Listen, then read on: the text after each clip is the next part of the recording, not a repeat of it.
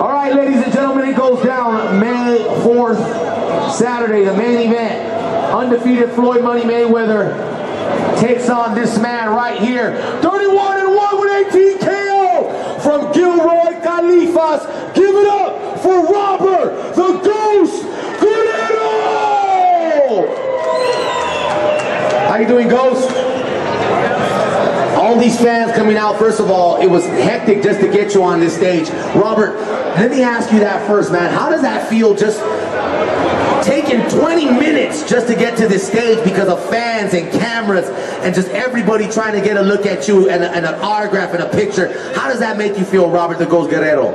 Oh man, it feels good to have all the fans supporting. That's why I took my time to get here and signed all the autographs I could because they're the ones that make us in this sport and they come out to see us. They're going to wait out there in the heat. I want to take my time to sign for them.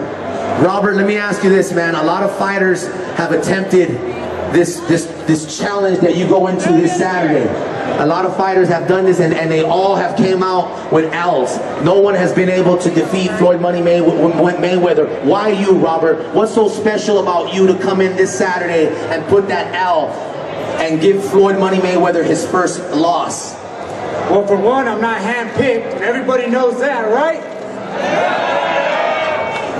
And we ain't making an attempt. We're going to do it. That's what we're going to do. We're going to come out do it. We're going to be victorious Saturday night. Robert, let me ask you this also, man. Is there a pressure coming in this Saturday with, with so many Latino fans out here, Cinco de Mayo weekend, man? Is there, is there something that, that goes in your heart, in your mind, that's like, you know what? There's a little pressure behind me on this? Nah, man, all us Latinos have pressure all the time. We fight under pressure all the time, man.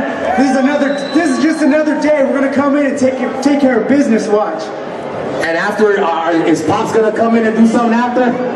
He takes it right after to me, man. We're always ready, bro. Always ready. And this is for all the Latinos, everybody, no matter who it is, man. Uh, May 4th, we're gonna kick ass. That's all I know. All you're gonna be hearing is Mayday, Mayday, Guerrero's in the ring. That's it. Ladies and gentlemen, MGM Grand. Give it up one more time for Robert.